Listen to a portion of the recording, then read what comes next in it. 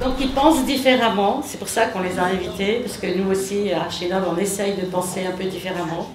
Alors je vais commencer par vous présenter Stéphane Malka. Donc lui, il fait des architectures euh, alternatives très décoiffantes.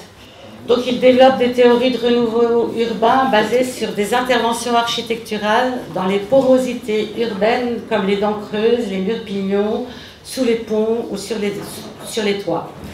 Euh, moi je trouve qu'il a un côté très subversif et plein d'humour. Et Vincent Calbeau, c'est un architecte belge. Qui travaille à Paris et surtout partout dans le monde. Il revient de Taïwan, donc il est un peu fatigué. Enfin, ça va, ça va, ça va aller. Le magazine Times euh, le, qualifie d'éco-architecte. Ça, j'ai trouvé que c'était pas mal. Vous avez vu ça? C'est pas mal. éco-architecte utopique.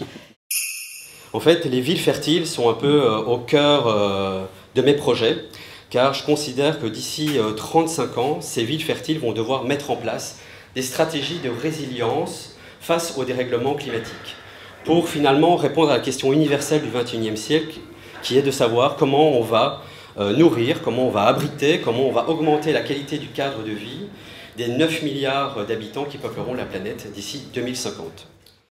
En 2014, on a, été sélectionné par la mairie de Paris pour développer un plan d'urbanisme qui s'appelle Paris Smart City 2050 avec le groupe euh, d'ingénierie CETEC.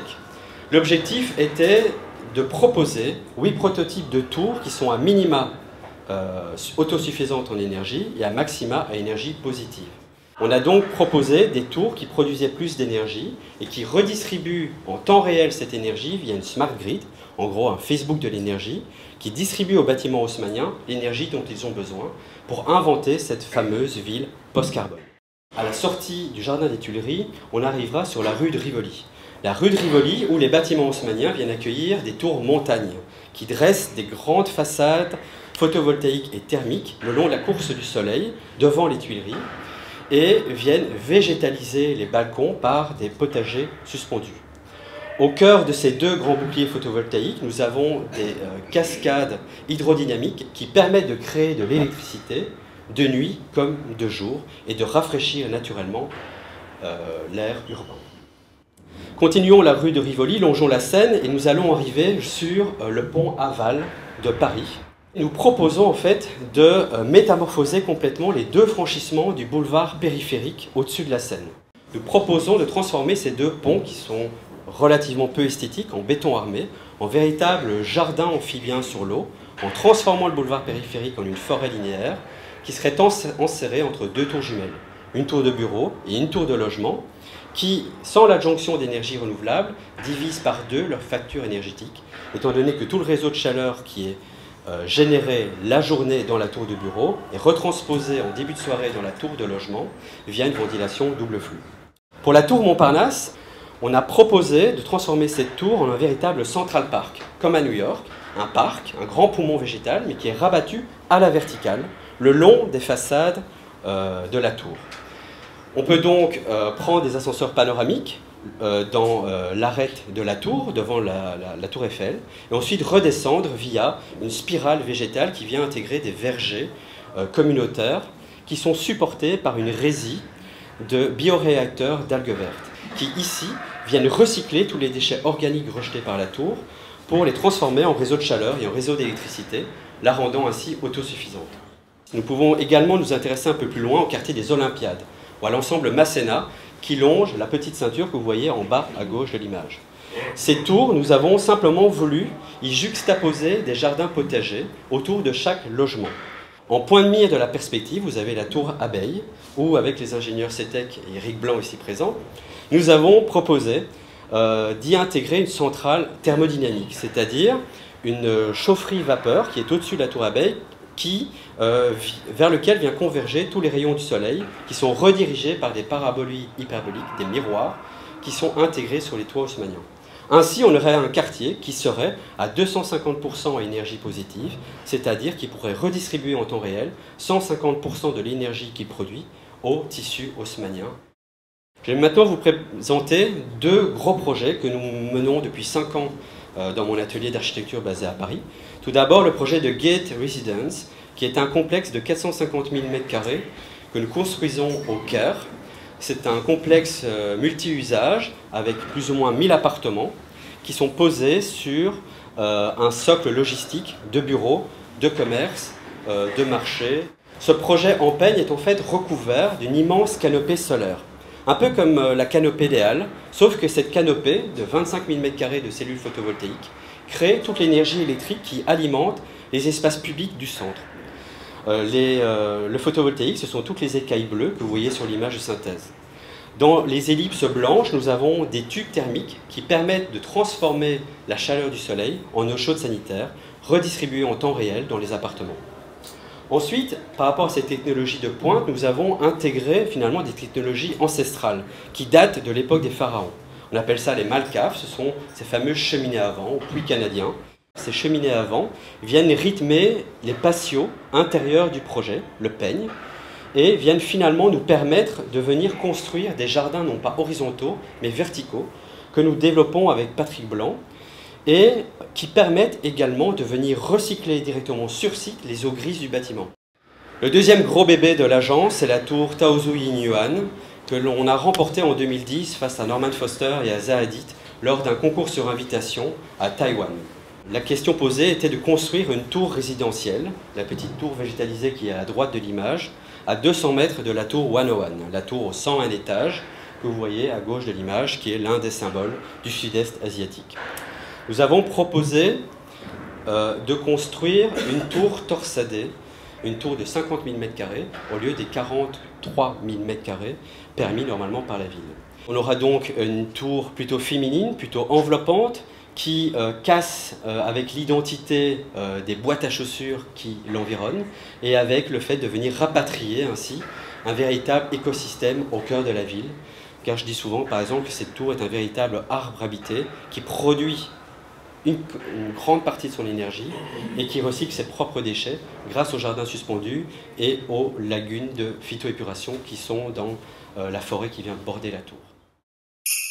Mon univers avant l'architecture, je venais du graffiti, donc j'ai peint pendant une dizaine d'années. Euh, et j'ai réalisé en fait que tous les endroits euh, euh, que, que j'ai peints, que ce soit ici sur les toits à New York ou ici sur les murs pignons à Paris, finalement montraient une chose, c'est une volonté de pouvoir investir les porosités urbaines. Finalement, quand on regarde les, les, trames urbaines, elles sont toujours très différentes alors qu'au finish, on arrive à avoir une architecture qui est sensiblement identique un petit peu partout dans le monde. À Paris, effectivement, on a un vocabulaire qui est assez euh, euh, hétéroclite. Et finalement, tout ce système de formes qui se génèrent permet euh, différentes manières de, s'implanter dans l'espace, puisqu'on a toujours à peu près la même réponse, l'îlot ouvert, l'îlot fermé, alors que finalement l'architecture peut être beaucoup plus souple et matricielle que ça. Et finalement, tous ces îlots peuvent être pris sous des angles complètement différents mon livre euh, ici, qui s'appelle Le Petit Paris, euh, est sous-titré Le Kama Sutra architectural. Et en fait, c'est justement la juxtaposition de, de, toutes ces positions et finalement, quels sont les meilleurs angles euh, par rapport au contexte? Qu'est-ce qui est le mieux? Finalement, j'aime assez voir un bâtiment comme un être vivant et du coup lui donner honneur selon les, les, flancs qu'il nous donne. L'exemple du Pont Neuf, c'est une micro-cité nomade. Finalement, c'est une structure simple euh, euh, d'échafaudage sur lequel on vient mettre des modules, des conteneurs, pas des conteneurs, et sur lesquels on vient juste envelopper d'une voile extrêmement légère, ce qui permet de pouvoir monter et démonter euh, la structure à loisir. Finalement, voilà, quand la lumière baisse, on peut voir effectivement quelle est la masse et quelle est l'absence de masse et l'évanescence. La volonté de ce projet-là, finalement, c'est de pouvoir recréer une communauté nomade dans la ville qui puisse accessoirement se mettre sur Pont-Neuf, mais qui puissent se déplacer encore plus loin et qui finalement grandissent au fur et à mesure euh, des participants euh, euh, de cette communauté.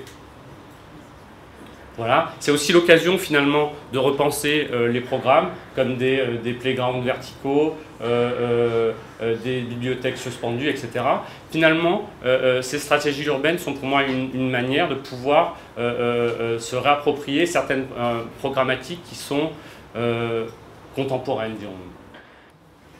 Autre projet qui est toujours euh, euh, dans cette volonté de réappropriation des, objets, finalement c'est une manière de se rapprocher du, ready-made de Duchamp et de le ramener à l'architecture. Euh, sa manière de, s'insérer ne répond pas à une, à une manière directement parcellaire.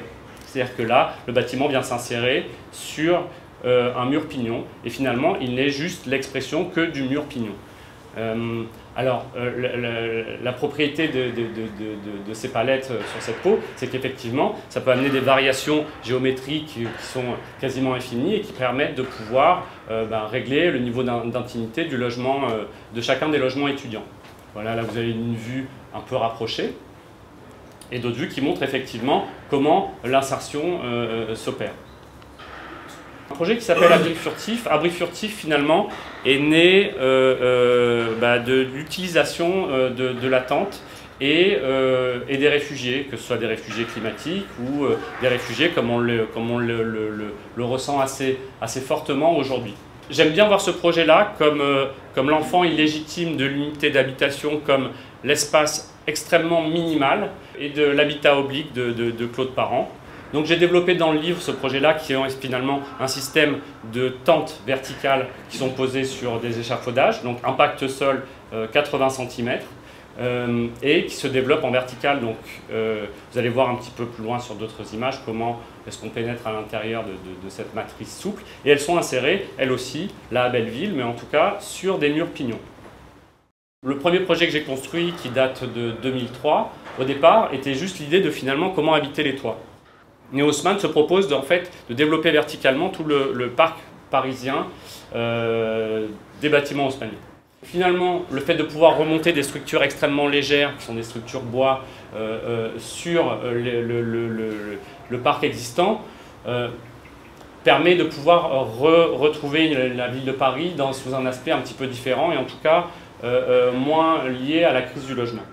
J'aime bien ce projet-là qui est sur le canal Saint-Martin, parce qu'en fait, finalement, euh, c'est euh, trois unités d'habitation qui euh, sont posées sur, sur, des, sur des toits existants. Ces structures-là, il n'y a aucune prouesse particulière, si ce n'est que finalement de reposer un élément et de, le déplacer dans un autre contexte permet de redécouvrir totalement la manière d'appréhender la ville, surtout en architecture. Ce qui m'a choqué, pas choqué, mais étonné, c'est votre approche à la technologie. Totalement différente. Euh, deux voix, ce qui prouve bien que le dessin peut être le même avec des approches techniques. Le rapport de l'architecte à, l'ingénieur, là on est dans les utopies, on est en plein dans le thème. Et vous servez exactement la même idée. Merci. Nous, on, hérite d'une ère industrielle qui a tout foutu en l'air. Et ben, on a voulu justement dire que l'architecture, c'était plus que construire. C'était aussi être force de proposition positive, avoir un impact positif en proposant, en disant non, mais on va vivre autrement. J'ai l'impression qu'on ne peut pas continuer à, construire de la même manière, on ne peut pas ignorer ça. On est dans un espèce de moment assez hétéroclite et il y a une vraie pluralité de choses qui est assez foisonnante.